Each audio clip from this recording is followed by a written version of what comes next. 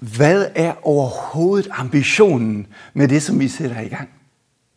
Ja, det kan virke som et mærkeligt spørgsmål, fordi ambitionen er ikke altid at få det allerbedste ud af det, eller at det er noget, som der medfører en adfærdsændring eller en effekt i praksis. Nej, langt fra er min erfaring. Så den her snak om, at hvad er ambitionen med det, vi sætter i gang, bliver et enormt vigtigt værktøj i starten af et projekt.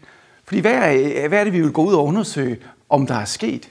Jeg vil prøve at dele det op i fem øh, ambitionsniveauer. Det ene det er, hvor vi går ud og så siger, synes folk om det, vi har startet?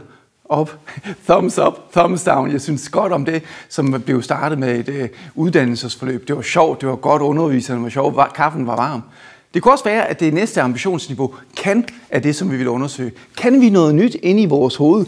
Kan vi følge op på den viden, som vi har tillært os? Måske er det et sætning om at sige, hvis jeg vækker dig om natten, så kan du vores nye ledelsesgrundlag. Kan du noget nyt?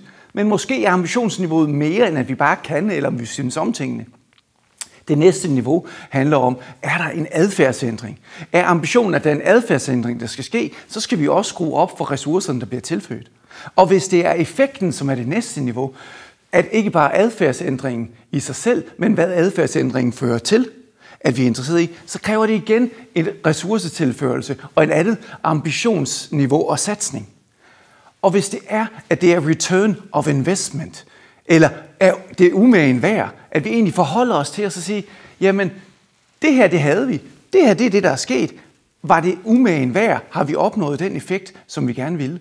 Tag de snakke i organisationen allerede fra start, så står I meget bedre stillet i forhold til jeres implementering. Held og lykke med det.